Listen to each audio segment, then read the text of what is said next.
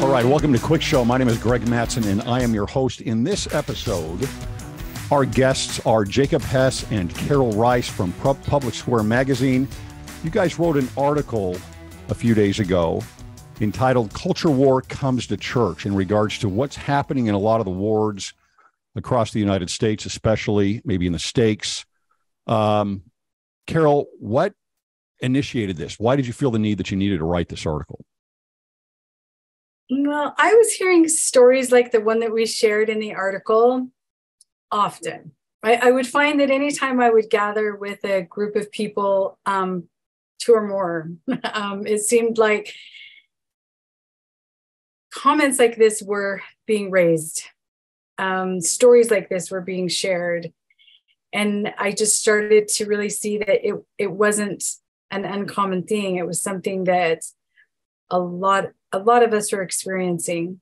Um, I think Jacob had very similar experiences in the work that he's been doing at Public Square for literally years now. Um, I, I, think he's jumped into a lot of these, and so it was a it was a pretty natural fit for things that have I know been on his mind that we've talked about. I know we said earlier that this was just something that has percolated for a while, and sometimes uh, Jacob always kind of kids, if you have something burning under your, you know, burning your fingertips, you've just got to write. He's always extending that invitation. And and this was one of those things. It really was. I just I hear about it a lot and felt a need to address it, say something. Okay, Jacob, I'm going to open up here with your the opening uh tagline here basically. And here's what it says quote with a cultural war raging around us perhaps it shouldn't surprise us to see it leaking now and then into our congregations and classes. But that doesn't make it any easier to know how to respond. There's two parts to this. Number one there's always been a cultural war right? We, we've always seen this. You go back to the 90s and the clinton era and, and, and what was going on there with the gop for example and, and the dams and go back to the 60s you know there, there's there, there, there may be times when when it gets a little bit more intense for me it's usually that a lot of that has to do with technological changes that that end up bringing these cultural changes about. But what makes this different than it was even 5 years ago? I mean this is this wasn't here yesterday it seems. Now you know 5 years ago maybe is when it really started to come about. Why why is this different now I'd like you to answer that question. I would love to know the answer. oh, I mean, I honestly don't know the answer, but I just I confirm what I think both of you feel that it we're seeing a mounting animosity around us. I've been showing my boys the Lord of the Rings m- movies, you know. They're finally of age. And you know, all the Lord of the Rings movies start with like the darkness is growing, you know, like it just feels even the last six months, we were just commenting on how some of the attacks against the church have just been getting better and more uh, harder to deal with. And the anger and the animosity, the personal attacks against all of us, I mean, yourself included, Greg, it's just growing. And this is not just our observation. Commentators across the nation, including atheists like John Haidt, are just saying, What's going on? It's like we're losing our capacity 10 years ago, my atheist Marxist friend said, Americans are losing their capacity to disagree in productive ways. And that that's just gotten it seems like that's continuing. The cancer's spreading. So I don't know. It's an important question. I, I would suggest a couple things. I know that I'm answering a little bit my own question here, but I, I would say a lot of that has to do with um, a softening of the belly right? I, I think that um, especially, and I think the church specifically is a, a very easy target for these things because we we are in a a lot of very very positive things in our culture, obviously, but I think one of the negatives is we're just really nice. And and before you say, well, Greg, you're a monster white, what's wrong with being nice? I would say I, I, think that nice is a very passive thing. I think it's you know kindness to me is something that okay that makes sense to me. Kindness is is uh, uh, of commission, right? And and and niceness is more omission. And we also have in our culture kind of this feeling of well, if the prophet didn't say it, then I'm not doing it, or or I'm waiting. You know, it kind of goes against the D&C verses that say, you know, don't be a slothful servant and don't be compelled in everything that you do. And yet, I think there's this sense that we just kind of wait around for things to be brought about. And, and I think that that has put us in a position where, unless the church has very specific messaging, which they have not yet, very specific messaging on these ideologies and these things that are coming in now, what I call the religion of academia, um, then then it's almost like, well, what do we do? How, why? How do I respond? What should I say? You know, and where we do get generalities, I don't. There hasn't been a real specific message on on a number of these things. Do you guys feel that way at all? If if it's if you're talking about like gender ideology and yes, critical race theory, then I think you're right. I would I, I want to know what Carol thinks. If I could add to what you said, Greg, John Haidt says, uh, consistent with your analysis before, there have always been conflicts at the university. There have been always always been people getting mad and protests. But he said in 2014 something shifted. He said he had students come in and start to say things like, "I was psychologically damaged by what my professor said in class." and he's like, "That was brand new." Mm-hmm. And if if we take that as a little bellwether it does seem like there's something new with this idea that disagreement on important questions is a bad thing. And then if you fall on the wrong side of the cultural orthodoxy with sexuality or gender or race, you're not just wrong in the eyes of some, you're like someone to be confronted and, you know, and e- evil in another way. And the church that represents these unpopular views becomes something to confront. And so, why don't you stay in the church and help make it better? I think that has something to do with it. The intrusion of this ideology where people are so horrified by doctrines that we would consider fundamental to Judeo Christian teaching for centuries, that they're confronting us now. Like mm-hmm. we're objects to be confronted. And and some of the most ugly stories we're hearing seem to have that in the in the mix of it.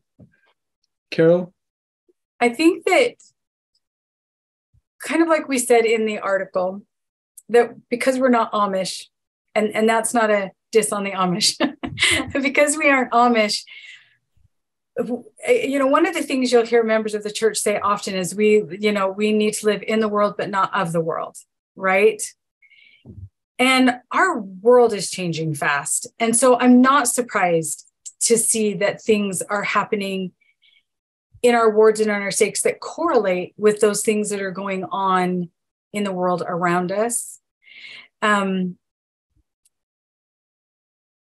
I would agree that there is some, I don't know if the word is confusion about being Christ like. And like you said, there being a between kindness and niceness. I would maybe use the word, I, I don't know, I, I would describe it as wanting to be Christ like, right? Like if we say we're being, we want to be kind or we want to be nice, that we want to be like, we want to be like Christ. And we have a tendency to make God in our own image. And so we have a tendency to take that trait of Christ that we feel like we're most likely to represent, right? And say, I'm doing those things. And so therefore I, I'm a good person and I'm being like Christ. And then anything that's not like that is now all of a sudden antichrist or it's evil or it's back or it's black or it's dark. So it's just really easy. And that's why I think we get into this, you know, why I'm comfortable calling this a war because um, we've just lost that ability. Like Jacob was saying there too, when he was quoting Jonathan Haidt, we've just lost that ability for civil discourse um, surrounding some of these things. And I, I, I think that's one of one of the big problems is just paint with very broad strokes anybody who doesn't sound or look exactly like you know like us mm-hmm. now you start off here with a well a lot of the article here is is a friend of yours. I, am guessing she's a a, a, a uh, mutual friend of yours but you know you've got her name in here as cami. And a lot of what you've built in this article is around some of her remarks. And this is not abnormal right? These, these are the same remarks we were talking before we started recording. I i get I, I, I, I, again, I don't know the exact number, but I'm going to guess somewhere between 100, 120, 130 different comments from members of the church about what is happening in their wards. And it, from a, a, there, there is, there are new comments, there's new vocabulary, new approaches that are happening on a regular basis now. And it seems to be getting, the divide seems to be getting bigger and bigger. And so Cami here, she starts off with a few different things. I'm just going to run through a few different examples here. She says there was an edge to some of the comments. This is in Relief Society that just felt off. She has examples of uh, an opening prayer for sacrament meeting that she saw one sister began with Dear Heavenly Parents. I've, I've seen that firsthand, by the way. Or another woman explaining it was important to understand that general authorities are for just are are for just general but not specific counsel for us. I hadn't heard that one before. Um, but uh, so many of these things I, I believe the root of all of these things it comes down to critical theory which is something that has has has has fomented in the universities and it's, you know, the very basic way to look at critical theory divides groups into an oppressor and a victim. And so whether it's any kind of identity that you're looking at, and I think this is why the brethren have focused so much on this identity hierarchy from President Nelson of child of God, number one, and then child of the covenant and disciple of Christ, and then everything else falls below that. Because these are all about identity, and, and, and your identity tells you you're either in the victim side of things or on the oppressor side of things. And the comments here that I see and that I get so many times are almost always falling under under that type of a dynamic. Um, this, the general authorities are for general but not specific counsel for us. See, that to me are, is already saying I'm pushing off authority right? And, and I don't know if you guys have had any questions you've received back or, or based on some of these things that you're hearing, if you see a lot of that as well. Do you see that there is kind of this pushback on the authority on the brethren specifically? Because to me, it's rooted in the church is oppressive and the brethren are oppressive. It's a bunch of old white guys and uh, they just need to get up with the times. Jacob? For sure. I I think there is another strong ideology that paints a very different picture than the Christian view. I mean, just taken from the New Testament, the Christian view is we all sin and we all fall short of the glory of God. We're all messing up and we all got to do better. We all need to repent. And that other religion you're describing, and you're not the only one. I mean, Tom Stringham has written about that for us John McWhorter at Columbia University, African American scholars talked about this taking on quasi religious dimensions. But um, it does paint a picture of the people that need to repent are those people, the oppressors. And and if you're in a marginalized group, you, we hear this language all the time. Uh, we hear people say to a member of the marginalized group, "You're perfect." you are perfect. I mean, like, if there's anything less Christian than that, I don't know. I mean, like, that's not what Christ taught. We all have things to improve on. So, and that is very divisive. I know that the people who believe it don't intend it to be divisive. I think they intended as like, this is how we help the world improve by confronting the inequities, confronting the injustices, and then we'll move towards their version of Zion. But in practice, I think it's inevitably divisive. I was in a conversation with some students at the University of Utah, and they were bragging about confronting inequities on campus and confronting sexism and confronting an instance here, you know, little microaggressions.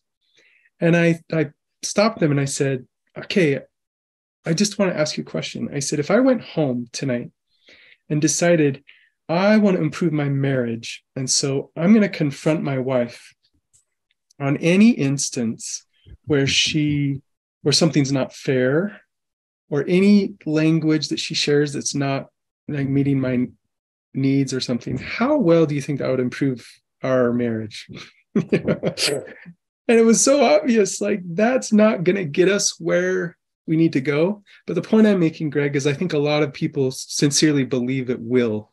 I don't think they're doing it to try to be divisive. I don't think they thought through like the long-term consequences. No. Carol, it, talk, it says in here, and specific in this quote, it talks about uh, when you're kind of pushing things off. A, another part of this is that uh, Cami goes into is that uh, talking about the balance of power between Heavenly Father and Heavenly Mother, as if that's you know some big thing we need to be talking about. But then it talks and says there's a knowledge that uh, that we can pray to receive revelation about this. And other comments she makes are t- very focused on well, the brethren say this, but we need to take on personal revelation, you know, and that kind of trumps everything else that uh, that we might be receiving from the brethren. Um, how isn't there a, a proper balance to that? Don't you think that we need to have? I mean, we do need personal revelation, but we don't get personal revelation for the church right or for or for the stake unless we're the stake presidency or for the ward or or for the church as a whole Correct. Um, Elder Renlund gave a beautiful talk about personal revelation, where he talked about the framework that that revelation needs to work into. Remember, he talked about staying in your own lane. He talked about um, so first of all, who are you receiving revelation for? He talked about um, personal revelation aligning with prophetic counsel and wisdom that we've already received and it aligning with the scriptures. And so, in, in, in a lot of these cases where people claim personal revelation to step away from the church right now, personal revelation that it's okay if I don't wear my my my garment, even if I'm in doubt that you know I'm not comfortable, so I don't need to wear it. Personal revelation for a lot of different things in their lives that that doesn't align with what our modern day prophet with the scriptures with the doctrines you know of the church teach us then they're conflating this idea of personal authority with what actual personal revelation is. And um, whether some are doing that intentionally or they're just deceived i that's not our that's not ours to call out right? But i think that we need to be aware that that happens a lot. I think I, I, see it a lot in social media and i definitely hear about it a lot in conversations. And i think just conflating confusing distorting those really important elements those sensitivities to the spirit are one of the ways that we can get, get ourselves in trouble yeah definitely and again i go back to that idea of critical theory with that. It's it's am I pushing off the authority and and and saying I'm liberated from that in a sense, and I get my own revelation for what the church should be doing. Right. Right. And, and it's anyway. So she goes. Cami goes on here, and she says she had this experience in, in Relief Society where there was really some some more things going on, talking about the power balance between Heavenly Father and Heavenly Mother. She says after the class, she went back to put some books away in a closet, and a row of women stayed back waiting to talk to her and they shared their concerns. And the more I reflected on all that was happening, the more I became worried as well. Right. So they're worried about these comments that are being made, things that, again, we didn't see more than a few years ago. Mm-hmm. Two things on this. Well, let me finish her quote here. She says, Many of these sisters had changed, women who had a long history of positive influence in our ward. So we do need to realize that when these things are coming in, it is something new, right? There, there, this is something beyond tradition, beyond what culture we've usually seen. It's it is a change. The question is, is the change good? Right? Because you do need to change sometimes. We've seen a, an awful lot of changes under President Nelson, right? So it's but they're they're trying to create the change here at a at a personal and award level sometimes and beyond. It, it to me, it's more like a a bottom up uh, revelation process instead of a, a top down revelation process. But she they wait they waited after the class eh, because they were worried to talk to her. One of the things I try to talk about, and it's just my interpretation and my belief on this. Again, talking about how I think we're too nice. Um, is that you need to speak up. It, it's important to speak up. It, that there are tools in these ideologies that are used, and, and they're mostly tolerance and compassion. And so when you speak against those things, you, people are always afraid to do it because they figure that, well, I'm going to be seen as not tolerant or I'm going to be seen as not compassionate. And and yet these are these are to me oftentimes misplaced. And I think it's important not to fall into what has been coined as the spiral of silence, where you almost feel like you're you're emotionally bullied not to say something, or in our culture in the church, that you don't want to be contentious, which we don't want to be contentious, but there is a difference between trying to be contentious and contending right? Standing up for what you believe, or, you know, like lift where you stand, stand up for something, as Gordon B. Hinckley said. And, and so, in that culture we've talked about in the church, it, it would be great if, in this example, the women said something in class about it. And, and, and, I, I know that's going to cause conflict. I understand that will cause conflict. But if culture continues to move and and if the church is not going to continue to move with that culture it's going to create conflict there's no way around that do you see it that way jacob do you see it like that i think i i do. And one of the things we feel strongly about at public square is encouraging people to do just what you're describing. Um, it might be a little scary to raise your voice but we have to. And and that doesn't mean that you're causing contention as you're saying. It might be perceived that way and people might accuse you of that but that's been true all the way back to you know Laman and Lemuel accused Nephi of being too mean and you know, it's just always been I wrote a piece called silencing of the lambs for Deseret News about this about how faithful believers are getting scared into silence. Um, some of the people that who follow the ideologies you describe are not silent and they're they they're often more willing to raise their voices. And by the way i would one other thought. Um if many of them believe that activism is the way the church has always changed if you read the um you know the, the salt lake tribune wrote a piece about how activism has been so important in the changes of the church. So you they look back at the history of the church and they sort of take credit as an activist class at all the different things that have changed. That's um, distorted on many levels. There's lots that we could say about that, but it is a sincere belief among some that the future of the church will be based on their own activist you know influence and eventually the church will move in this direction because the activists have pressed enough so, in that mindset, the activism is central to the church's growth and possible possibility. I, uh, Carol, in, in in here, she talks about uh, another friend who lives on the East Coast, and she'd been experiencing some things with the young women leaders. And by the way, of all of the auxiliaries, priesthoods, and everything else in the church, those messages that I've been giving, get been receiving from listeners, the number one problem is young women in, in the young women's organization. That's where it, it seems to pop up the most. Um, and I do think that this type of because compassion and tolerance are used as these tools, almost sometimes bullying tools. I think that young women are the most susceptible to all of this. And it's the easiest place to go with it. Um, but she talks about how the, this woman in the East Coast went on to describe similar, seeing similar language of these comments in social media posts by acquaintances. Now, you brought up Jonathan Haidt.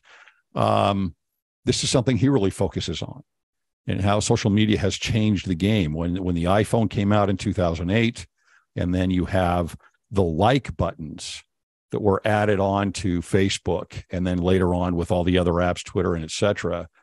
Um, that changed everything, right? The the the the feedback, the emotional response, the okay, I'm liked, that people like what I say has changed everything. And on the other hand, I better be darn careful about what I say because people are going to really come after me if if I'm not saying the politically correct thing, and that's kind of translates onto comp- campus behavior, but it, it translates into church behavior now. The same thing here. She's seen these social media posts and and looking at those things. I look through a lot of social media with a lot of different influencers on on let's say both sides of these these ideologies um, how how influential is social media in with church members when it comes to this new culture war that is that is coming into the church. Oh i think it's profound. I think it's profound. Um I think there's a very good reason why one of the first things that President Nelson, when he became prophet, told the women of the church, he taught the youth, he taught the women, and then he taught the youth, and then he talked to us generally about like how to take a social media fast. And um, I was working for a a school in the area, and I, I remember at the time the kids you know being very sincere about taking social media fasts and um you know the women that i a lot of women that i knew taking social media fasts when he asked us to do that i i think it's i think it's very telling that it's one of the first things that he taught us to do and that he started with the women because i do think that something else that president nelson said that i rely on often and think about is that he said if the women of the church lose their moral rectitude, the world will never recover. And I, I think that's a very profound statement as well, because I like like his wife Wendy has reminded us he doesn't speak in hyperbole.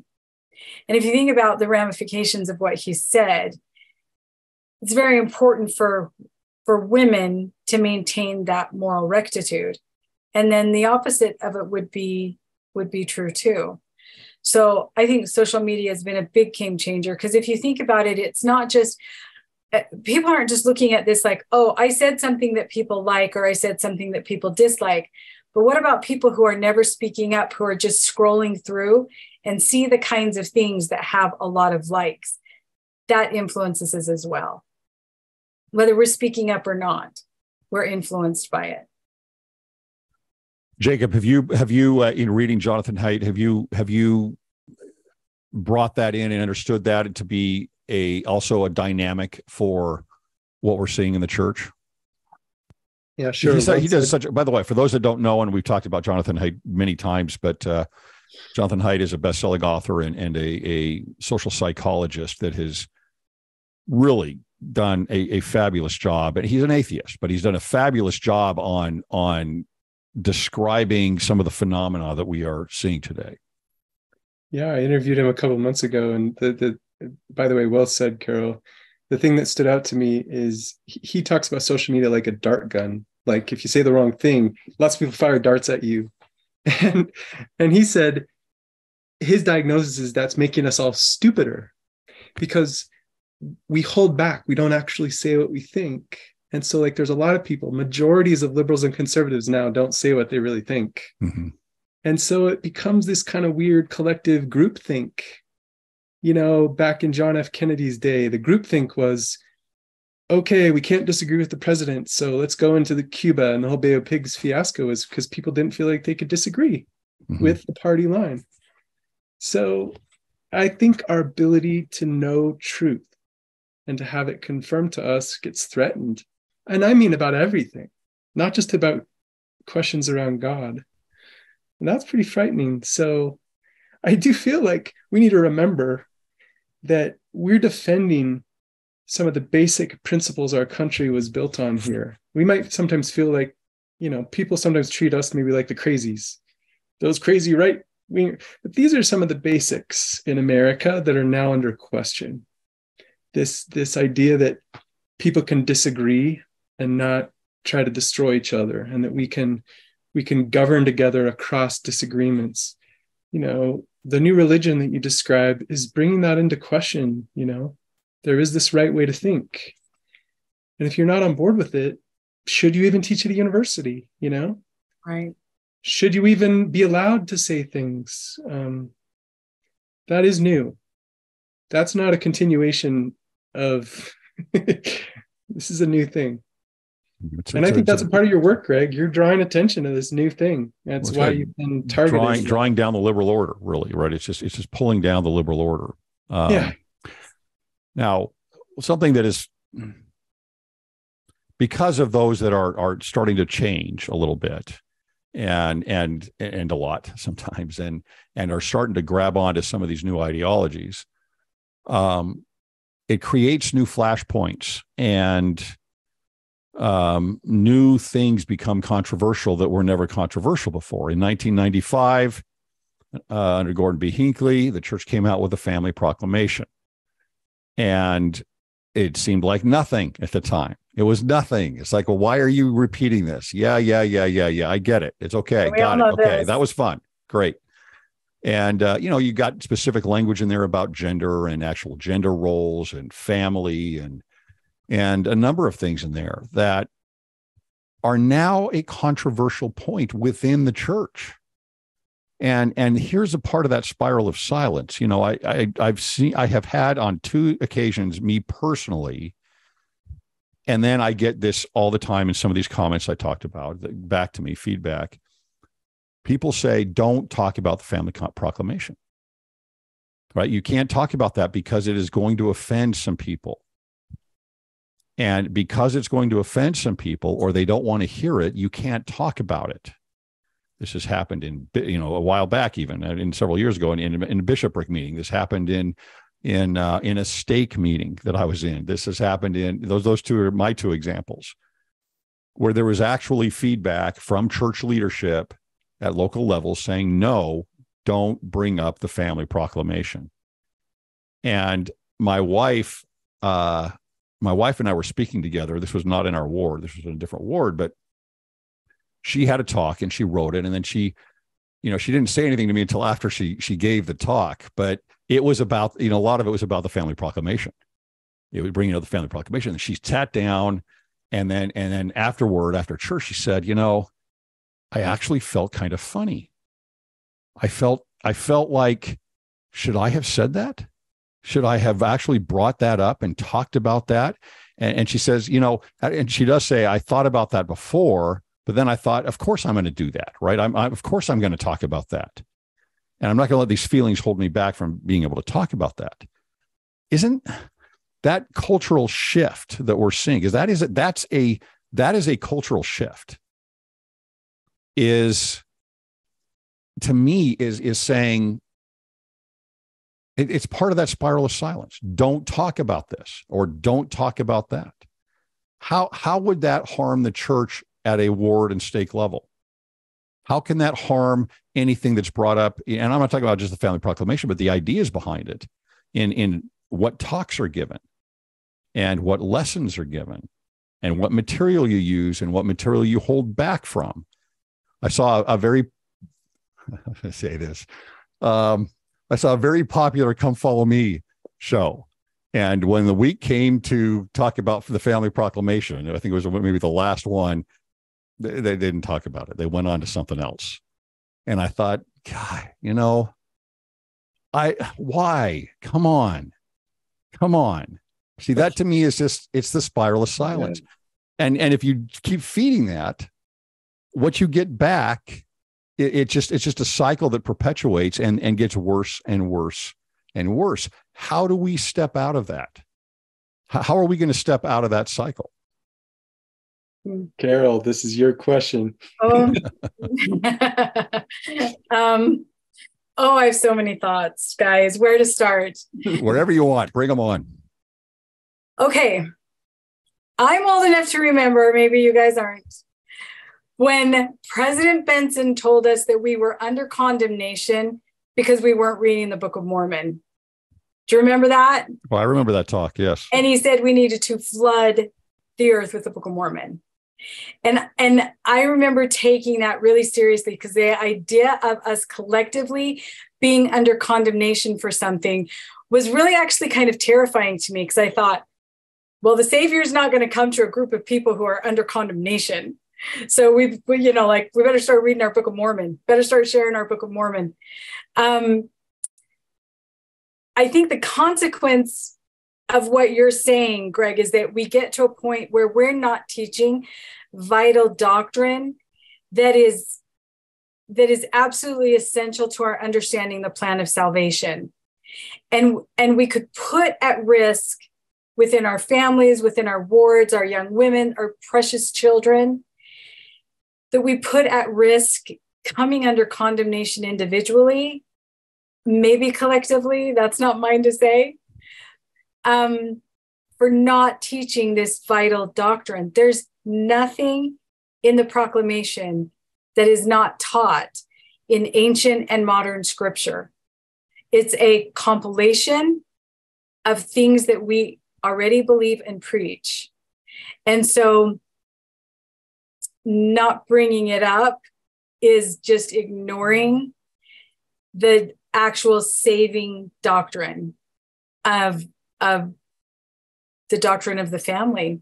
It was Julia Beck who said, anything that's anti family is anti Christ. And those yeah. are some strong words. But we're learning about that this week as we study Malachi, right?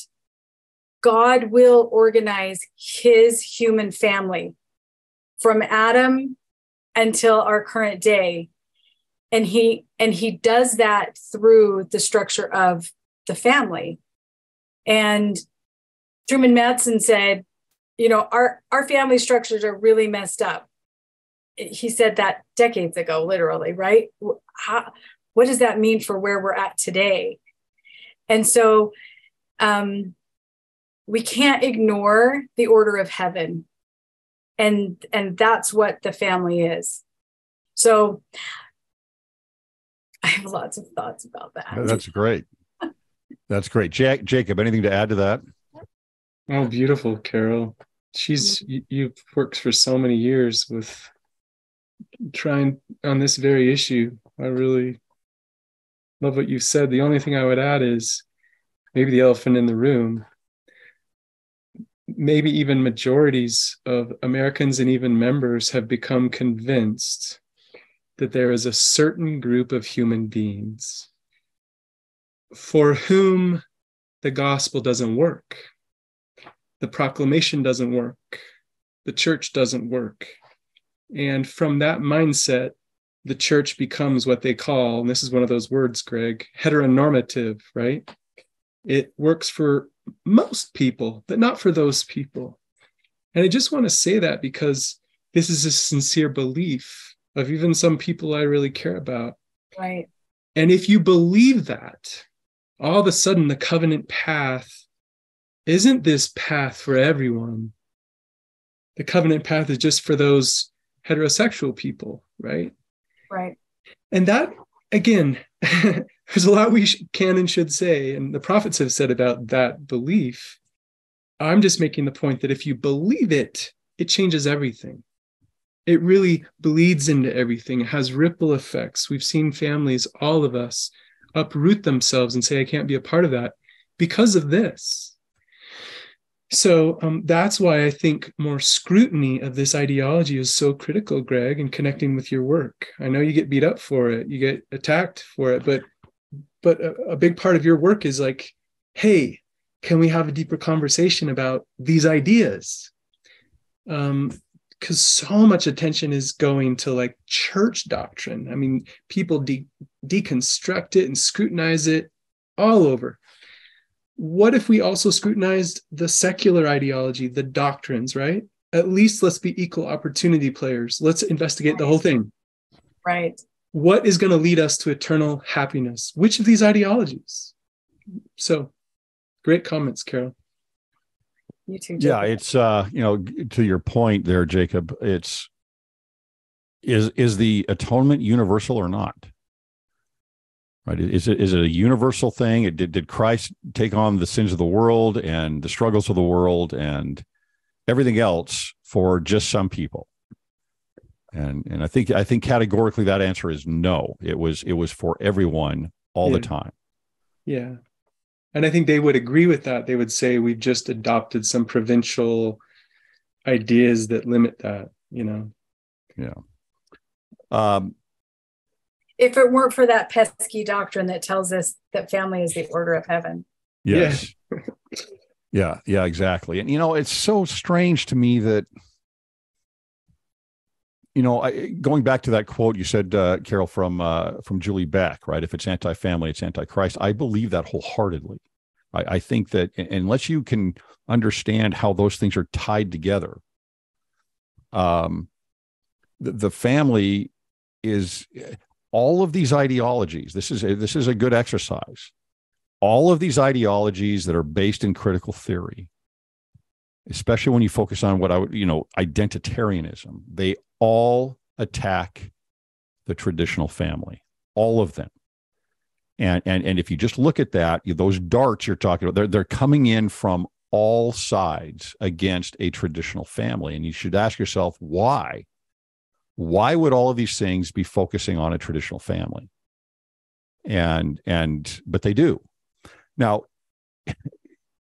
this to me here is you talk about Jacob talking about these things. This is my concern in the church is we we don't talk about these things.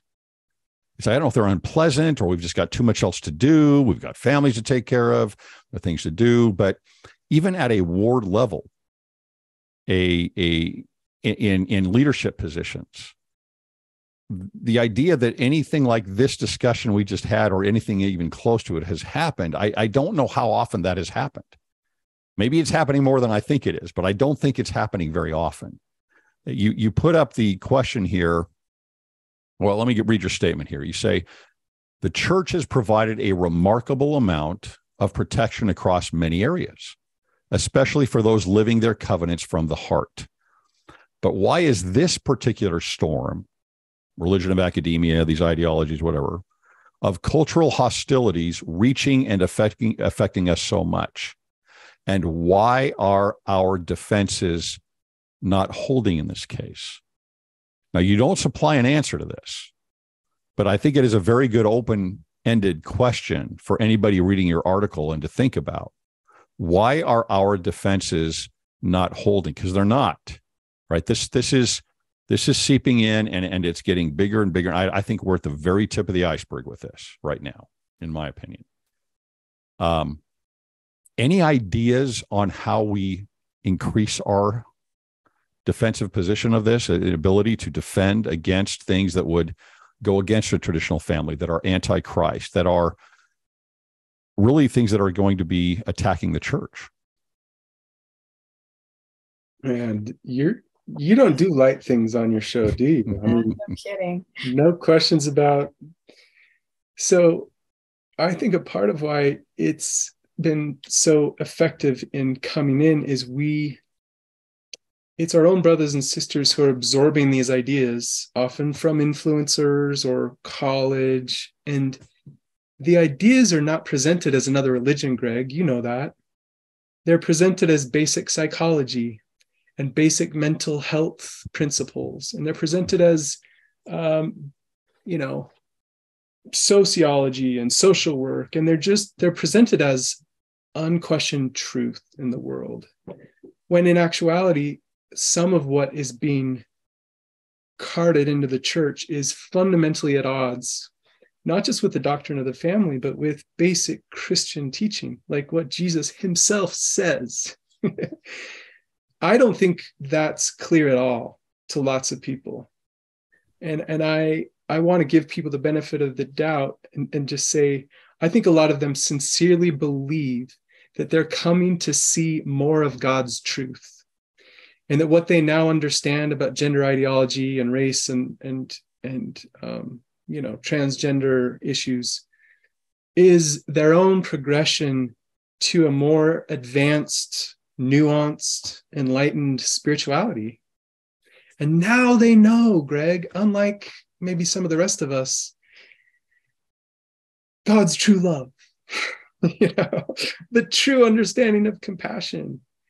Um, so if that's true, I'm still not answering your question. Like, if that's true, what do we do about it? I think you're right. I think we need to talk about it. I think we need to talk about it generously, not in a warfare mode, not mm-hmm. with a heart at war. I think the people that don't talk about it are scared to cause conflict.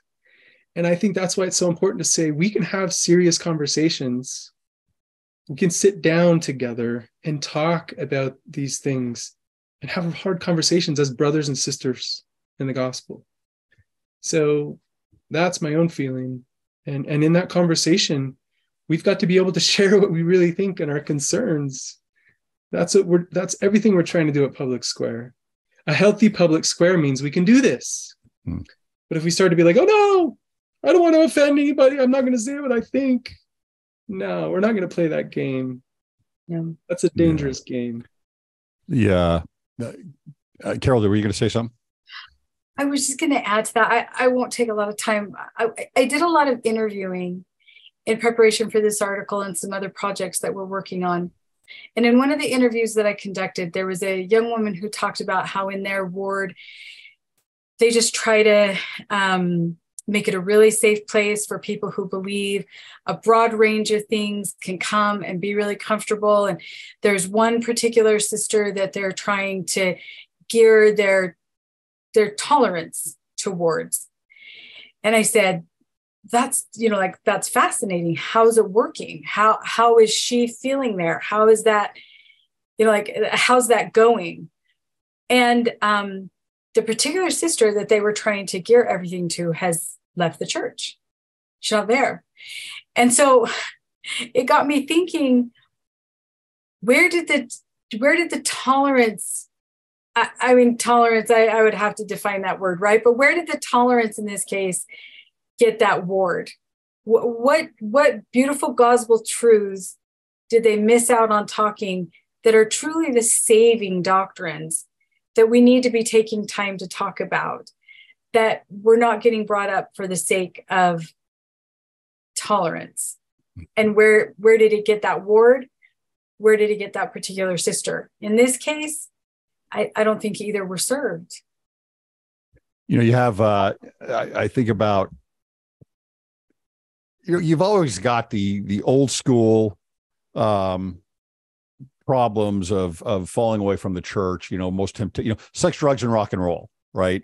that, that's your like the they're they're always there. It's always a problem, and our defenses are up about it, and at least at least how to how to fight it, right? How how you should do it. Not everybody does. It's a temptation. Those temptations are always there. Granted, but to me, this is a whole new deal, right? This is to me, these are the mists that we find in Lehi's dream. Yeah. Right. There's there's a little bit of clarity out there. You can see a little bit, but you let go of the rod and you walk out into that mist and you're lost. And and it seems to me that these these physical traditional sins we've we've that we've always have fought off have now the the the the ideologies have become so sophisticated that we're moving from just kind of these carnal sins up into call it a spiritual sin in the sense that it's not just your body that that is that the that the adversary wants to work on. It's your heart might mind and strength. And these ideologies come in and they seem to grab all of that. And and if you can grab that it, it's it, it's it's not the gospel of jesus christ. And so now all of a sudden and that's why we can talk about it as a religion right it, it's, it's if you can grab those things you've got a real problem now. It's not just a matter of wow, I, I I, can I need to repent from this X Y Z. It's like no, now I have I have I'm ideologically possessed. I've got a new ideology that that I want to follow, and the church doesn't agree with it. Now, what do I do with this? Mm-hmm. Right. Jacob, that was so great. I that analysis was just right. The miss. I'm, I'm going to cut that and put it right at the beginning when you say that. That's correct. no, it really was good. And I, I just want to say, my, my wife the other day, um, she said it almost feels like people are trying to build two different churches. If we just take as an example of the miss you're describing, if you came to believe that the most important thing that we should be doing in the church is making sure everyone feels included and that they belong and make sure nobody ever feels uncomfortable. Let's just say, for whatever reason, whatever influences, you arrived at that conclusion, right? And we all know some of our influencers that we follow sure sound like this, you know. Mm-hmm. That's the most, and, and they'll say things like, that's all that Jesus really cares about.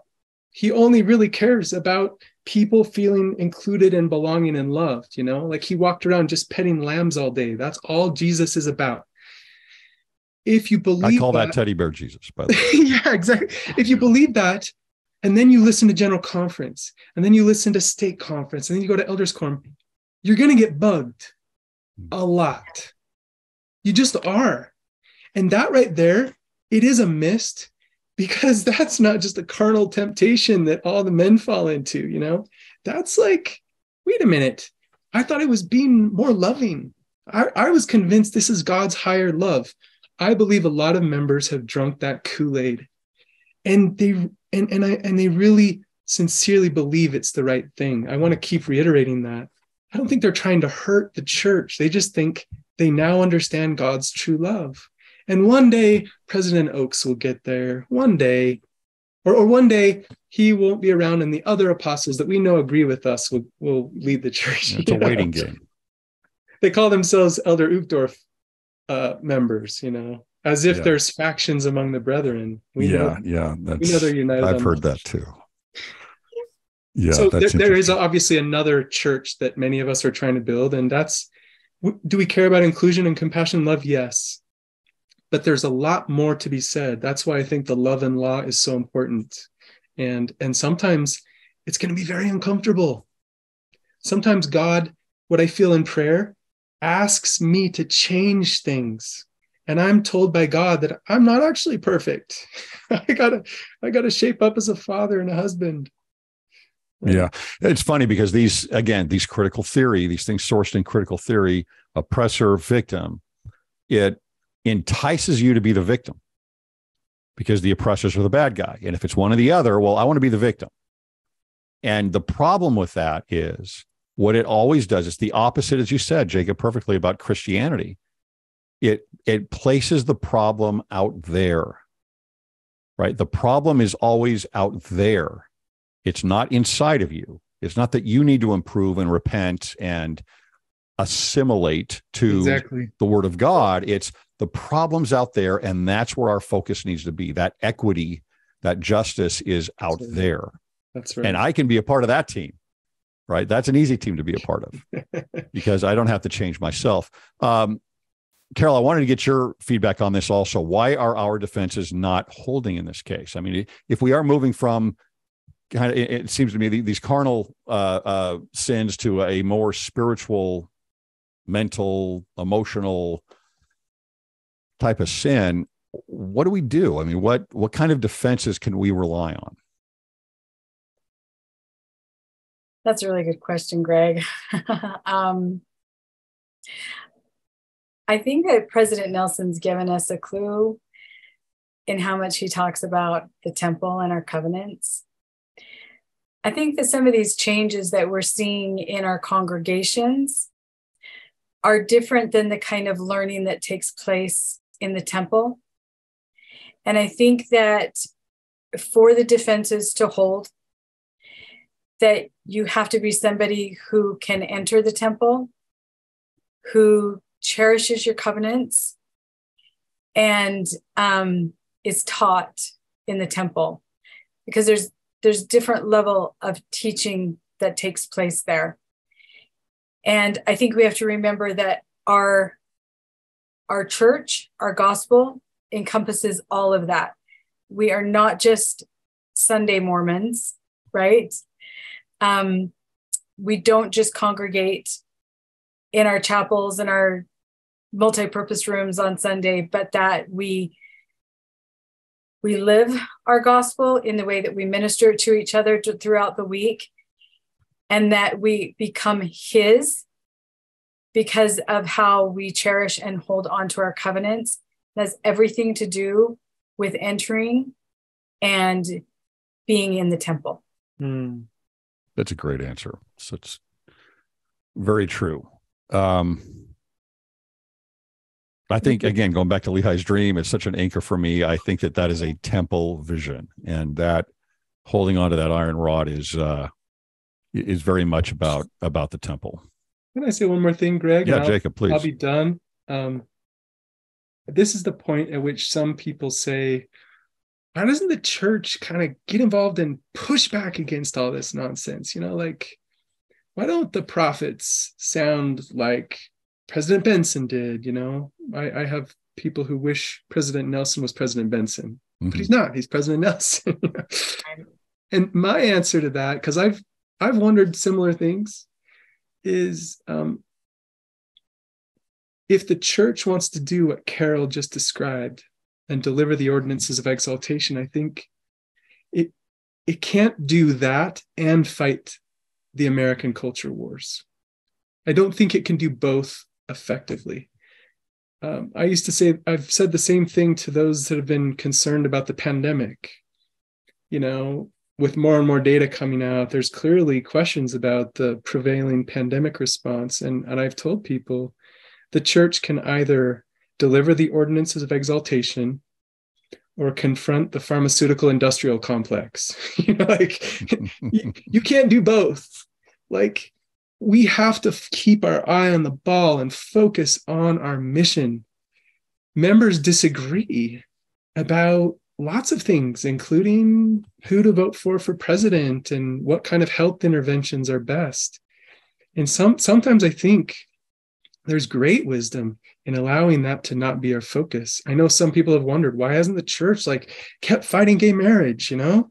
We've got to like fight every issue that's in line with our doctrine, but there's also a pragmatic side to this this kingdom that says we have to pick our battles as well. And if the legislative battle around gay marriage, for instance, has been won, um, then you know the dynamic shift, and sometimes the prophets are not going to be just calling us to warfare on everything. And there will be times we know this is coming where we are going to have to fight for our our freedom of uh, to practice our faith. So I just I just want to affirm that I see great wisdom in what the how the prophets are leading us in all these areas. Yeah. Um, I'm going to finish up here with you guys put out at the end of the uh, toward the end of the article, you offered uh, for readers to respond to a few short questions. Um, this was several days ago, maybe five days ago, that the article went up. Um, what kind of response have you had on that so far? Is there any data that you can share with us? Yeah, we've had almost 100 people answer. And two things. A, a slight majority agrees they have observed more conflict and contention in interactions among members of their congregation. Uh, for that, so fi- 55% of people agree with that. 45% say they haven't observed any more conflict. So it's not everybody in every ward that's having these experiences. I have heard that in more progressive liberal areas, this happens more. I live in a rural part of Utah. I never see anything like this. Mhm. So, and then we also asked if you've witnessed conflict, which of the issues has it revolved around? Um, 67% described pandemic disagreements. Mm, mhm. Uh, the second top answer was LGBT issues at, at about 59%. And then the third was national politics. From there, you go to women's roles, church history, race. But the top three were the pandemic, LGBTQ, and then national politics. Yeah. So we are going to be continuing to um, analyze this data and sharing more in the new year because our desire is like you, like how do we help foster better conversations about this in a way that can diffuse some of this? I know when I've sat down with some of my really liberal friends, if I hear them out, and they hear me out, we tend to come away liking each other, Mhm. not feeling at each other's throats. Um, Yeah. That's obviously outside of church, but like, how can we foster peace and raise our voice for truth when we need to? Yeah, absolutely. Especially in church, right? It's it's like no, you know, you don't need to bring politics into the church. It, it's uh, stand. You know, if there's politics that happen to support a commandment or anything else, just stand by the commandment. Uh, you know, you don't need to bring everything else in from uh, from from politics in there with the uh, the discussion on that.